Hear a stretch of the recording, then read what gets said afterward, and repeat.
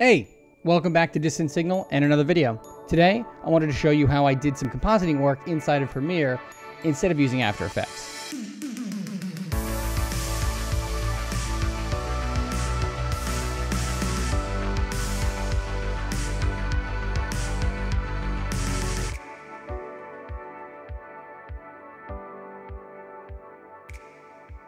Now, why Premiere? Um, well, if you're like me, using After Effects feels like Let's not stand on ceremony here. I want After Effects to feel like.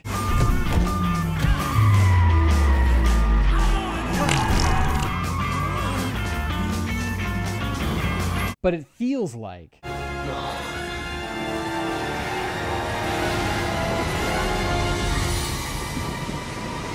So, after doing a shot for Milkshake that took about three months, I decided two things. One, never assume any visual effects shot is going to be easy.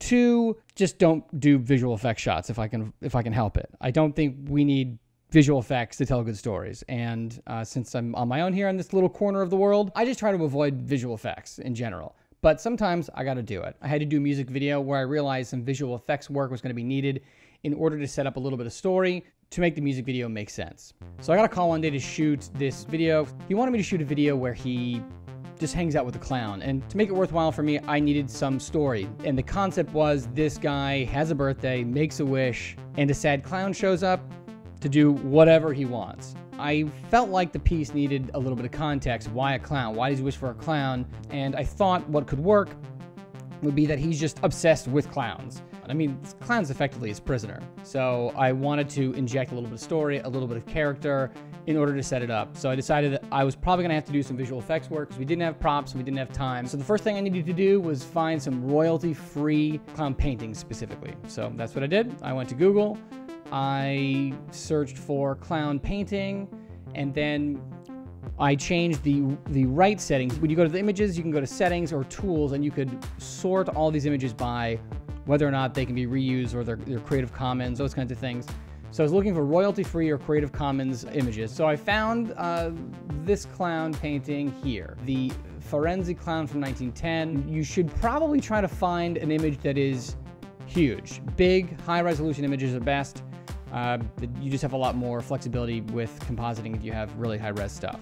And then next was a royalty-free clownfish. So another thing that I realized I needed was, I needed to add reflections to the painting to make it look like they actually lived in the space. Now, if you notice, the reflections aren't quite um, right, but they, they were good enough. And so I went into Photoshop and I took both paintings and I added uh, reflections. So to get around After Effects, I decided to use some of the most basic things you would find in After Effects that are also replicated in Premiere, like scaling and Gaussian blur, adding beveled edges to make it look like there's a frame around the picture. And the reason why I like doing it in Premiere is because it's all real time, unlike After Effects, where you have to render every little frame in order to see what the composition is going to look like. I can just do it in real time with Premiere. It's so much faster.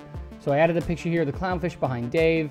I added a drop shadow. Also, it's very easy tool that you can find in After Effects, but it's just all real time here. So I, I don't want to waste the time rendering everything in After Effects. So when I added the drop shadow, after the drop shadow, I added the beveled edges. And then in order to make it look a little more cinematic, I added a post zoom.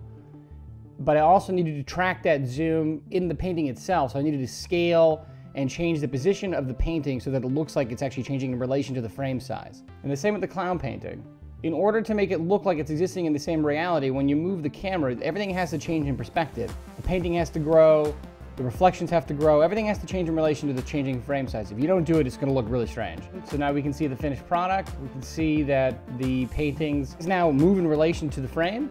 Uh, they look like they're more or less in the same space, and now we have some kind of context as to why this person in the film uh, is actually getting a clown because he's obsessed with clowns. It kind of makes sense now. Whereas before, it was just a birthday wish for a clown that came out of nowhere. So adding this context helps a little bit and sell the reason why he might wish for a clown on his birthday. My level of expertise is, is low enough, and I'm willing to admit that, and I'm willing to admit that I don't want to learn much more. This was a perfect case test for using Premiere for visual effects. If you need to do anything more complicated, don't be afraid to hire somebody, or don't be afraid to take several months to learn how to actually do something before you do it because it's going to take you a lot longer than you think. Please subscribe, Check me out on Patreon. Check us out on Steemit. It's my favorite cryptocurrency. I think it will be yours too.